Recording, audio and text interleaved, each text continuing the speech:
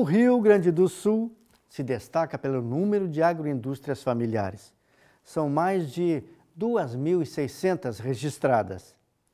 E Juí, contabiliza 14 agroindústrias familiares, funcionando com o selo Sabor Gaúcho.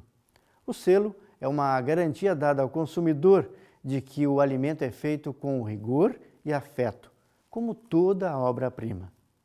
Peças únicas, feitas manualmente, com rigor e matéria-prima de qualidade.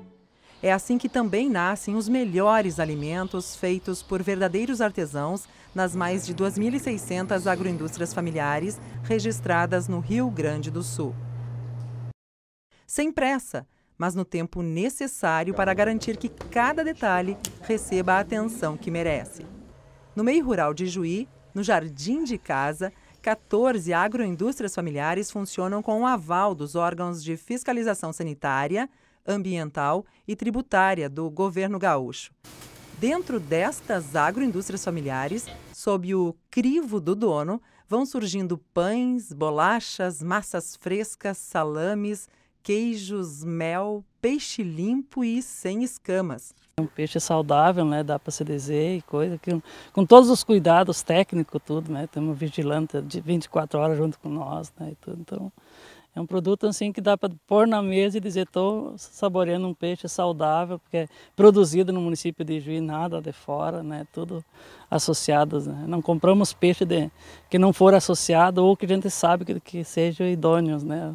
O produtor do peixe.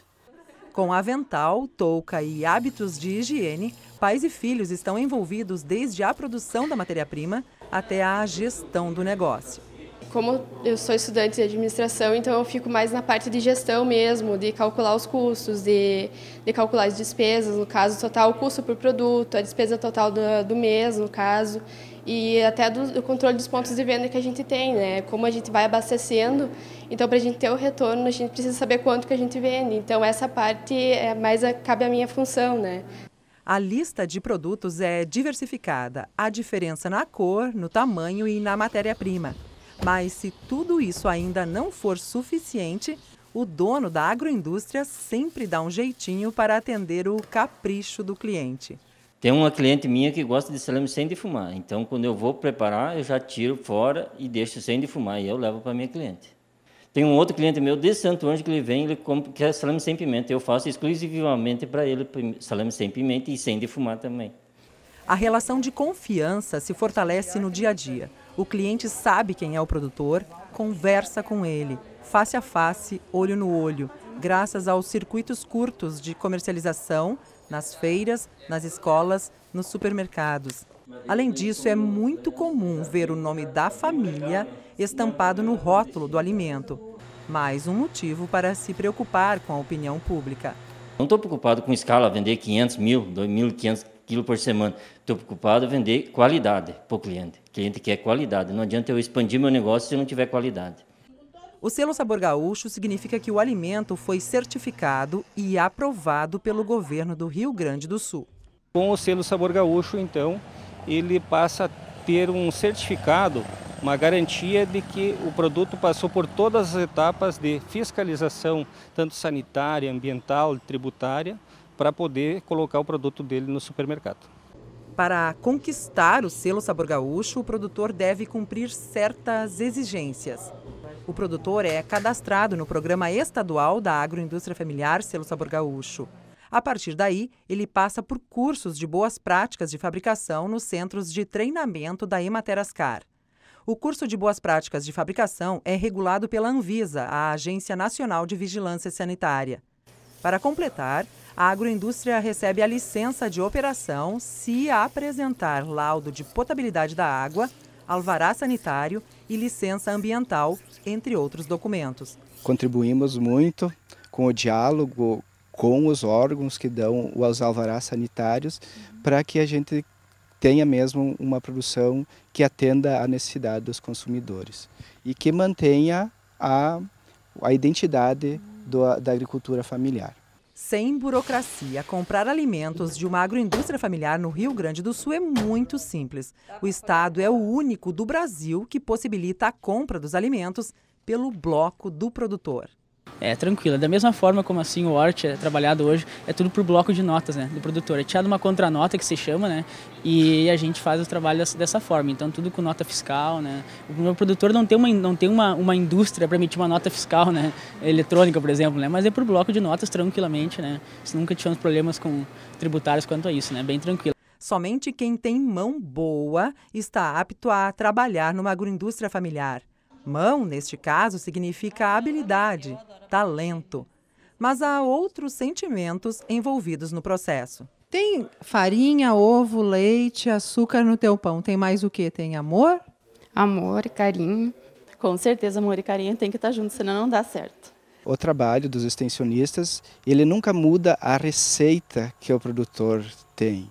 Ele preserva a receita que o produtor tem, porque as pessoas, quando vão buscar um produto colonial, eles querem sentir o gosto que eles têm na sua história, do alimento que, ele, que a vovó fazia, que a mãe fazia. Então é isso. A Imater trabalha mantendo o, que ele, o gosto é, que, a, que tem historicamente no alimento. Tem algumas receitas até que são da minha avó, que foram para minha mãe e que eu aprimorei elas e agora a gente usa elas na agroindústria. Aprendi porque eu gosto de lidar com isso em receitas antigas, de avó, da mãe, de tias, amigas. Ah, isso a gente foi criado, né? Vendo a mãe fazer pão no forno, daí vem de geração para geração. Ijuí, o município das culturas diversificadas, oferece ao mundo alimentos únicos feitos com rigor e afeto e preservados pela tradição. O suco de uva possui expressiva relevância econômica e social no Brasil. Pensando nisso, a Embrapa desenvolveu um equipamento para produzir suco de uva integral, com o objetivo de aumentar a qualidade do produto e também a renda dos produtores. Veja na reportagem como eles são produzidos e os tipos que estão à disposição no mercado. A busca por uma vida mais saudável exige mudanças em alguns hábitos. Pesquisas indicam que o consumo regular de suco de uva integral fornece um elevado valor nutricional. É um excelente energético e traz vários benefícios para a saúde dos consumidores de todas as idades. A primeira coisa que eu devo falar sobre o suco de uva é que ele tem propriedades extremamente importantes para prevenir doenças é, degenerativas como prevenir né? o Parkinson, Alzheimer, câncer, demência e assim, e assim vai. Além, além disso, tem vitaminas como o complexo B, B1, B2, B6, B12, ácido pantotênico, vitamina C, sais minerais que vai do cálcio ao zinco. Portanto, é um alimento extremamente importante para crianças e adultos. Informar a população sobre os benefícios do suco de uva tem sido uma tarefa do projeto 100% Suco de Uva do Brasil, realizado pelo Instituto Brasileiro do Vinho, IBRAVIN. As pessoas ficam bastante surpresas com os benefícios do, do suco, né? Porque muitas não conhecem, não sabem a diferença do suco, não sabem que existem vários tipos de suco.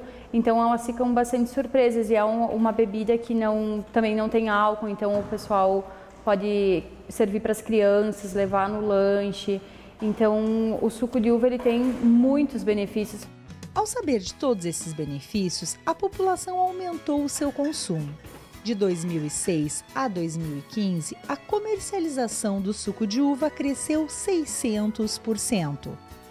Se compararmos somente os anos de 2014 e 2015, na categoria sucos de uva prontos para o consumo, ocorreu um aumento de 30,5%, com venda de 118 milhões de litros.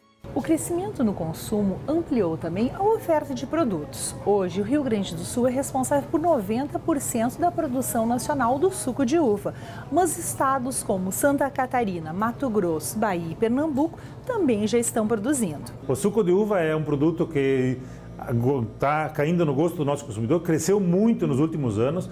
É um produto que hoje sustenta e ajuda a sustentar o setor vitivinícola, as empresas que agregam valor, já que é um produto que mais cresceu no, no, na, nas vendas nos últimos 10 anos. A legislação brasileira ela diz que um suco de uva tem que ter no mínimo 14 brix e não pode ter adição de água. Né?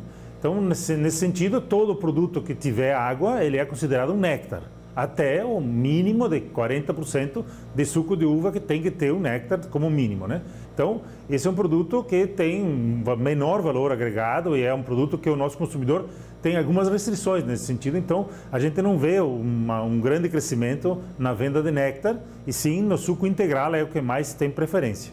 Eu tenho plena certeza que o suco integral tem uma grande, um grande espaço no mercado, né? É, e, e acho que realmente quem investir em suco integral não vai ter nenhuma, nenhuma surpresa nesse sentido, né? É um produto muito, muito, muito apreciado pelo nosso consumidor brasileiro.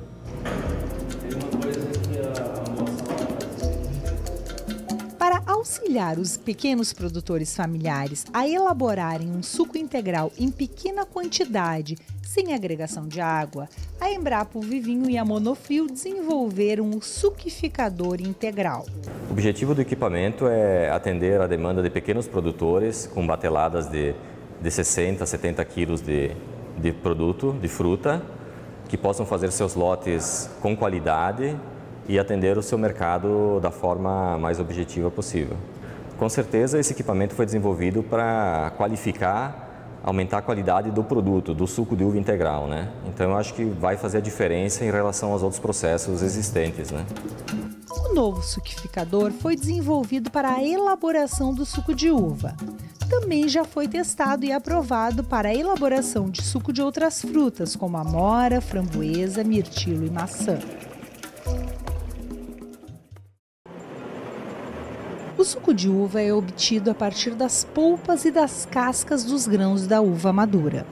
Ao ser extraído, o líquido é naturalmente enriquecido com compostos orgânicos e minerais da própria uva. Ele é elaborado principalmente com uvas tintas americanas tradicionais, como Isabel, Bordeaux e Concord, e novos híbridos desenvolvidos pela Embrapa. Ao comprar, o consumidor deve ficar atento ao rótulo dos produtos, as principais opções disponíveis são suco integral, elaborado sem adição de água, açúcar ou qualquer outro produto. Néctar, bebida com no mínimo 50% de suco integral, água, açúcar e outros aditivos. Concentrado é o suco integral do qual foi retirada a água. Reconstituído é o suco concentrado com a adição da água para voltar à quantidade inicial. E um suco de qualidade é aquele suco feito de uva madura, sã e que tem as propriedades naturais da fruta. Adição de água ou adição de algum outro aditivo que não seja permitido por lei, esse suco, dessa forma produzido, não é um suco de boa qualidade. Tem que ter, tem que seguir as normas da lei. Propriedade de Xana e Sandro Valduga, no Vale dos Vinhedos, em Bento Gonçalves, o suco de uva ganhou um destaque todo especial na vinícola familiar. Vamos lá conhecer essa história? Bom, a gente sempre trabalhou com produção de uvas, vendíamos as uvas para as outras vinícolas e 2005 para cá que a gente começou a nossa própria produção, né? Porque acreditávamos que elaborando os nossos próprios produtos, a gente iria ganhar mais do que vender essas uvas para as outras vinícolas. E por que investiram direto já no suco? A gente tinha muita produção de uvas viníferas e uvas comuns. Não queríamos elaborar vinhos de uva comum para não popularizar a nossa marca. Então decidimos ir para a parte de sucos, que é um nicho de mercado muito bom hoje no momento uh, nós conseguimos elaborar o suco e vender no dia seguinte, se for necessário, enquanto que o vinho há um processo em que a gente precisa uh, ficar em caves, trabalhar em barricas e é um, um lucro mais a longo prazo. E foi pensando em uma alternativa viável economicamente para os pequenos produtores que têm interesse em produzir pequenas quantidades de suco integral que foi desenvolvido o novo suquificador.